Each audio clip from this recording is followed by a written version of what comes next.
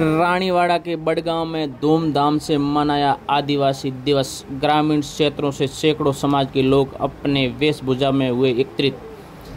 बड़गांव कस्बे के रूपावटी कल्ला मार्ग पर समाज के भूखंड में विश्व आदिवासी दिवस बड़े धूमधाम से मनाया गया। कार्यक्रम में डोंगरी के महंत लहरगिरी महाराज के सानिध्य में आयोजित हुआ। कार्यक्रम में बड़गांव ठाकुर मानवेंद्र सिंह देवड़ा व पूर्व प्रधान मूलाराम राणा ने राणा पूजा की प्रतिमा पर पुष्प अर्पित कर कार्यक्रम की विधिवत शुरुआत की।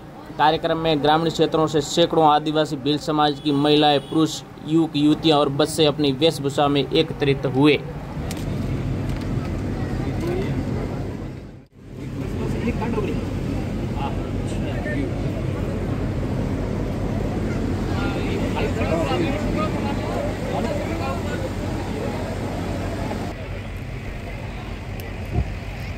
एक बार जोरदार तालियों के साथ ठाकुर साहब का स्वागत किया जाए।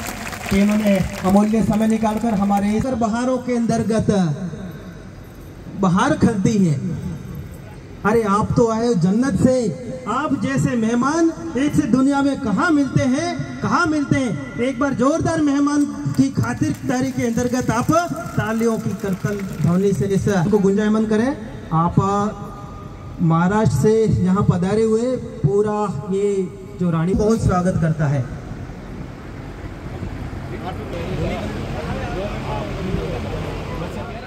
इस मीडिया कर्मी पधारे उनका भी मैं इस तहे दिल से भेल समाज की तरफ़ से आपका हार्दिक स्वागत अभिनंदन करता हूँ।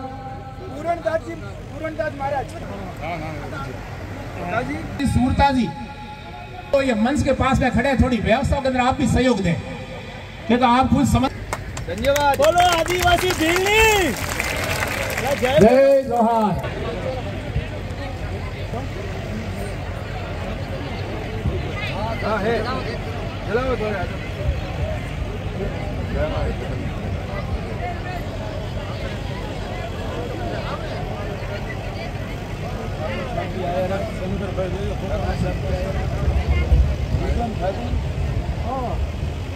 जैसा कि हमारे महान जो पुरुष हैं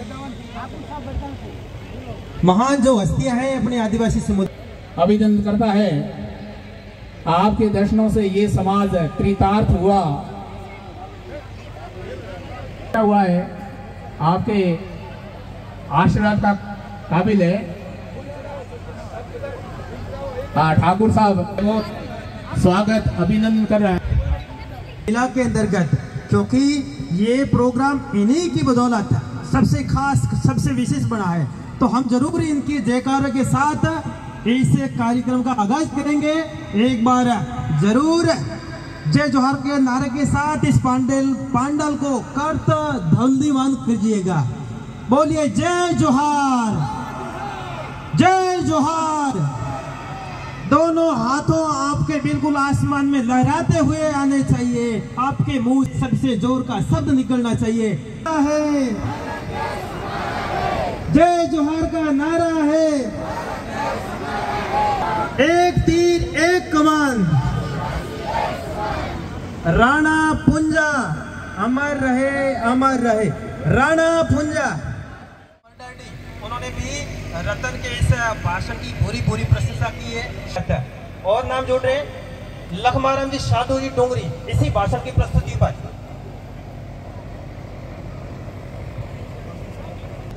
माराम सोना जी दौलपुरा की तरफ़ से 200 रतन यहाँ पर आ जाए और अपनी जो योग राशि वो ले जाए।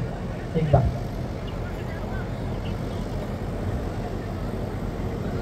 चंदू जी, अर्जुन जी दौलपुरा और, रतन ने हमें दिखाया कि किस तरीके से यहाँ पर जो हमारा टूटा और बिखरा हुआ समाज है, यहाँ तक कि महान हस्तियों को संजे हुए समाज, महान धरोहर को संभाले हुए भी एक तरीके से बहुत ही टूटा और बिखरा हुआ पड़ा है। बातों इस अंदरूनी फूट से फ़ायदा उठा रहे हैं। आज हम देखते हैं कि बहुत सारे जो हमारे ही जो लोग हैं हमारे थोड़ा थोड़ा आगे किसको थोड़ा थोड़ा आगे आ जाए। उधर भी। जो बुज़ुर्ग बैठे हैं उनसे भी मेरा निवेदन है कि थोड़ा आगे आ जाए जो ताकि जो उधर उधर कार्यक्रम के लिए अच्छी बात नहीं है। शुरू होने जा रहा है। तो पुनः मैं आप सभी का हार्दिक स्वागत अभिनंदन। जय जोहार जय आदिवासी। आज हम इस देवनगरी ऐतिहासिक तो बांकड़िया बड़गांव की भूमि है। इस भूमि के अंदर हम आदिवासी भाई बंधु इकट्ठे हुए हैं। बहुत ही एक सोनरा पल है। हमारे लिए एक यादगार पल है। तो इस पांडाल के आप बैठे हो तो यहाँ पर आपको इकट्ठा करने के अंदर जो मैं धन्यवाद देना चाहूँ बहुत आपको धन्यवाद। माँ लक्ष्मी है वो आपके भंडार को हमेशा भरा रखे